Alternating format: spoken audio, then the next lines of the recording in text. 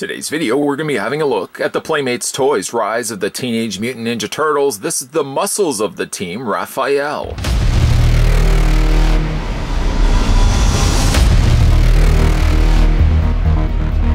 This snapping turtle, as the biggest and oldest brother, Raph is the self-appointed leader of the group.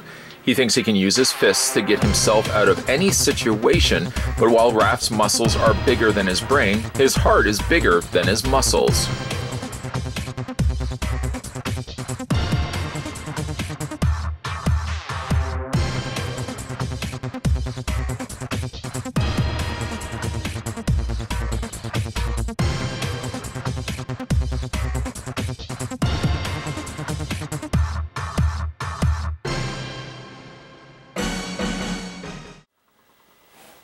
Right, let's go ahead and grab the tape measure and figure out how tall Raphael stands. He's going to be a little bit taller than his brothers. And the proof is in the pudding. There we go. Right there.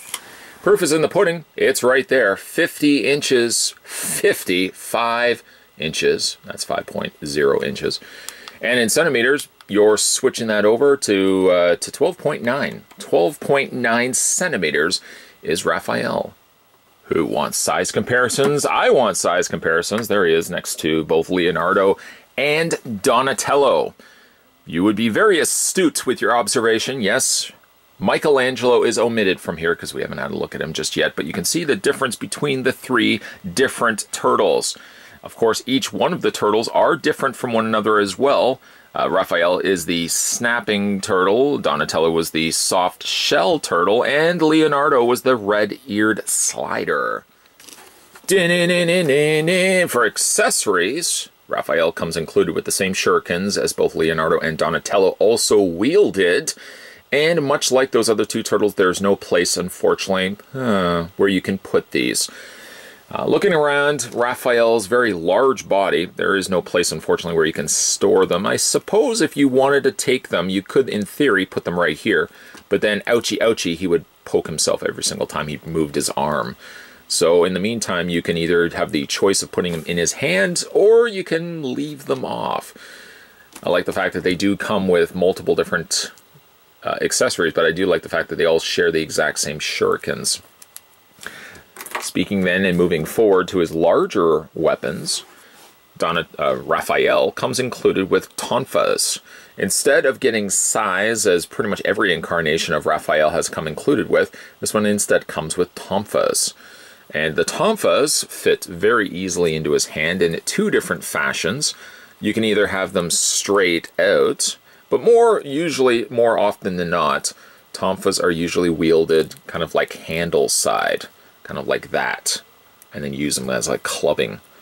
Um, you can fit them in either one of his hands, and you can also uh, get them in his, I think, like that. You can kind of wedge them in between his fingers if you wanted to have kind of like a little side guard of his arm. Now, going back to what we were talking about before with the shuriken placement, the tonfas, you can fit just on the side here. And they fit just attached like so. And you can kind of just tuck the handles to the back so that they're not poking out. Same thing on this side right here. Just like that. Or I guess it should be a little bit a little bit further. It doesn't really matter, but you can put them just like that. Let's go pull those out. And similar to the other turtles, he also gets energy versions of these. Now, these are pre-sculpted. They already have the, if you can see it there, the hand already holding the tonfa in place. And this whole section here is translucent uh, red plastic. It almost kind of looks like a very sweet candy. No, you shouldn't be putting that in your, in your mouth. But what we will do, though, is put it into his hands, and it's simply just a case of sliding it over top of his forearms, just like that. What's neat is a, it being translucent plastic, you can still make out that Raph's arms are in the inside, the interior of that. We'll go ahead and do it on the other side here as well. Here we go. I like this. I really do like this. And I like the fact that Playmates would have included these translucent weapons. Don't worry, don't worry. Michelangelo is going to have that as well. Don't worry, don't worry. We're going to have a look at Michelangelo in the next review. Whew. Ahead and take these off. Again, these are just a soft plastic, and we'll just put those to the side. looking at Raphael. I do really like these characters. Oh, oh, oh, oh, oh, before we do that, before we do that, one thing I didn't mention before I lose my train of thought, as I normally like to do, I always look, look at the pamphlets that come included with these figures. Now, this one is no exception. Just showcasing some of the figure and art stylings that they have in here with the Origami Ninja, which actually I just finished watching, funny enough. Uh, Meat Sweats. I love the name of that, Meat Sweats. Uh, Splinter, there's April, of course, the brothers, and there's Baron Draxum. Of course, some really cool looking vehicles. The two in one villain Bustin Turtle tank looks awesome. And the epic sewer lair playset is standing at a whopping 43 inches in height. Then there's some role playing weapons and some larger, taller scale figures and some deluxe figures as well. So there's, once again, Playmates always got you covered when it comes to Turtles toys. One thing that they've introduced this go around, though, that they haven't done with previous releases, is the Playmates Toys Pizza Points. You can register and be a part of the Secret Sewer Squad, collect pizza points to qualify for special TMNT toys and other fun stuff, and use your ninja skills to be the, on the lookout for this pizza icon on your on our toys and website. I just so happen to have, you'll have to bear with me here, I'm just covering off the, each one of the Turtles toys, the figures come with their corresponding pizza slice.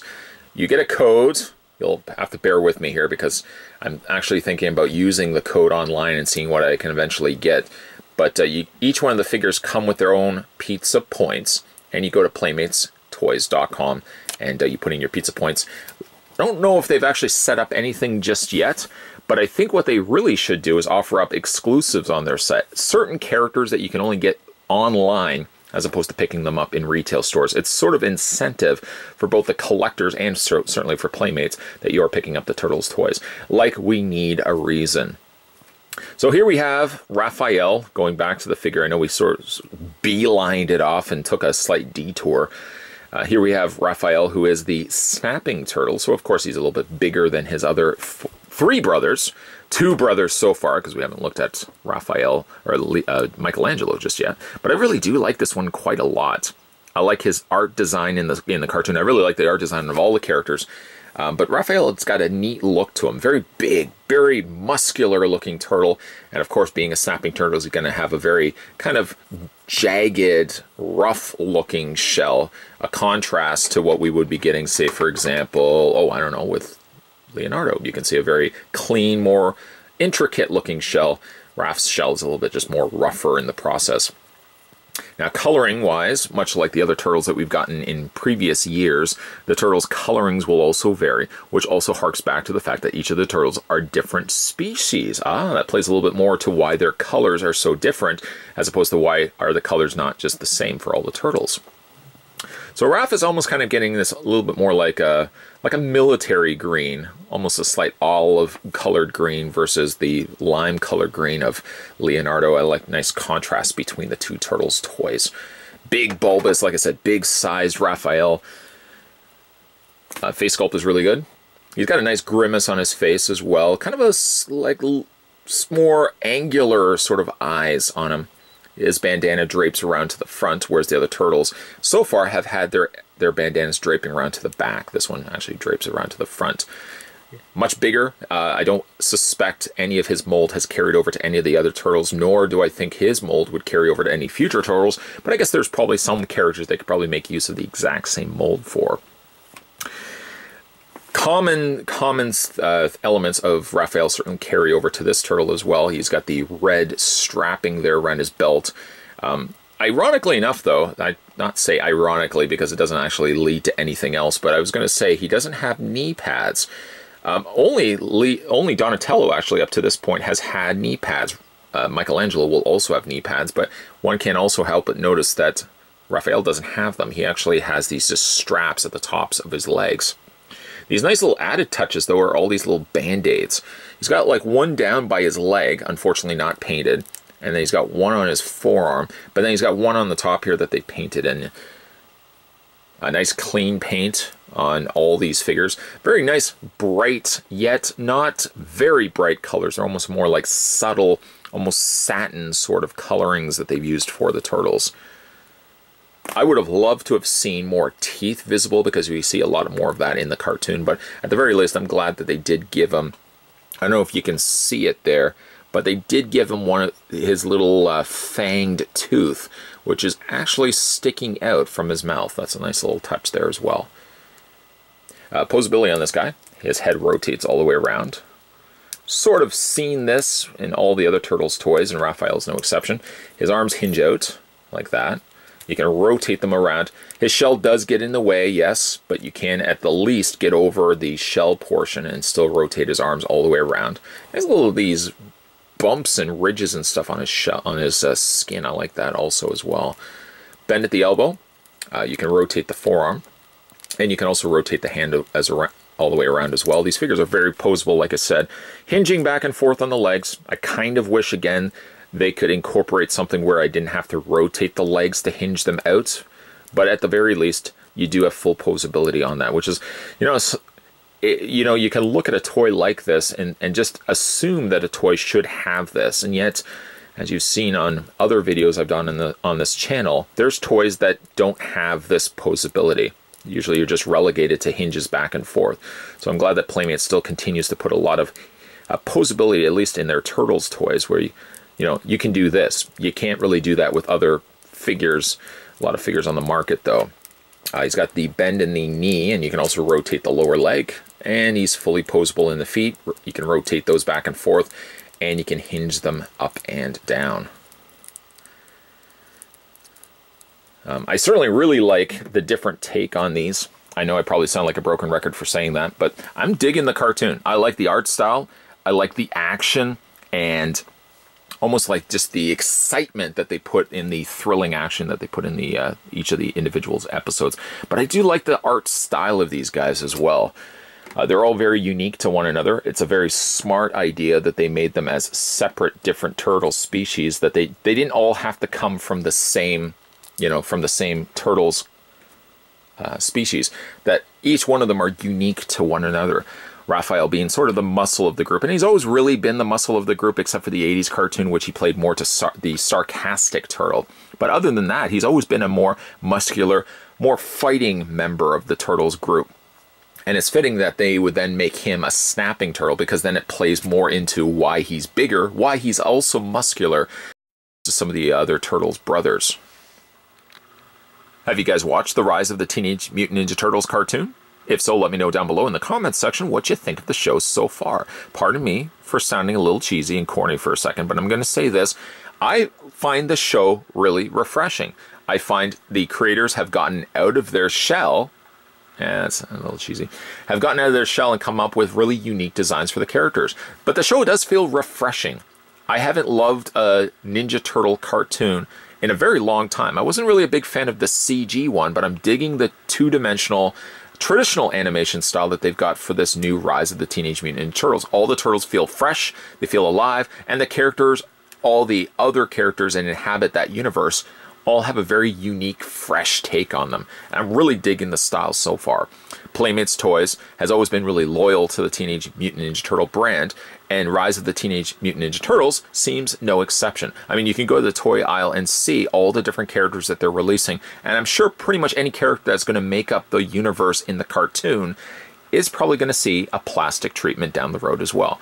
But digging the cartoon, digging the toy line, can't wait for more in the pipeline, both in new episodes and in the new toys. Uh, today we were having a look at the Playmates Toys Rise of the Teenage Mutant Ninja Turtles. This was the muscles of the group, Raphael. And of course, we're going to have a look at Michelangelo. That's probably a dead giveaway as to what we're going to look at next, as we've already looked at all three of the brothers out of the four so far. Michelangelo's review is going to be coming up, and we're going to have a look at some other Turtles toys uh, from this from this lineup as well. So stay tuned for that. Make sure you hit that little subscribe button. That's crucial. It means that if you haven't done so already, you may be missing out on all the content that's coming onto this channel on a regular basis. And let me just tell you, as the guy that's making the content, there's a whole lot of videos coming onto this channel on a daily basis. So make sure that you haven't missed out by hitting that little subscribe button down below. And one better, why don't you swing over to the homepage and check out the videos section. That's your best way to guarantee that if you have missed out on something, you can sort of skim across all the thumbnails and know exactly which one you may have missed. More videos, guys, will be coming your way, so thanks for watching as you always do, and I'll see you next time.